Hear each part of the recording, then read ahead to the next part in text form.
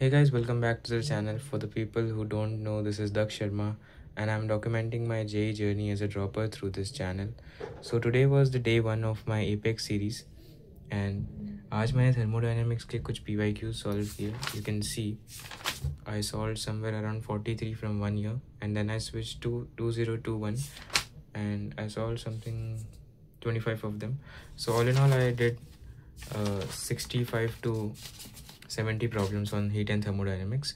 Then I switched to 3D geometry, जिसमें मैंने कुछ twenty I 20 I guess 20 PYQ solve किए on 3D geometry and I revised some formulas too. उसके बाद मैंने मॉडर्न फिजिक्स उठाया एंड मॉडर्न फिजिक्स के शॉर्ट नोट्स को रिवाइज करके I solve somewhere around thirty three problems on you can see this thirty three problems on modern physics then I thought of doing forty five P Y Qs based on Arrhenius equation लेकिन मैंने उसके कुछ fifteen ही कर पाया। And then I left some pages for it and उसके बाद मैंने कॉम्प्लेक्स नंबर्स लिया। एंड कॉम्प्लेक्स नंबर्स को मैंने प्रॉब्लम्स के थ्रू रिवाइज किया। You can see this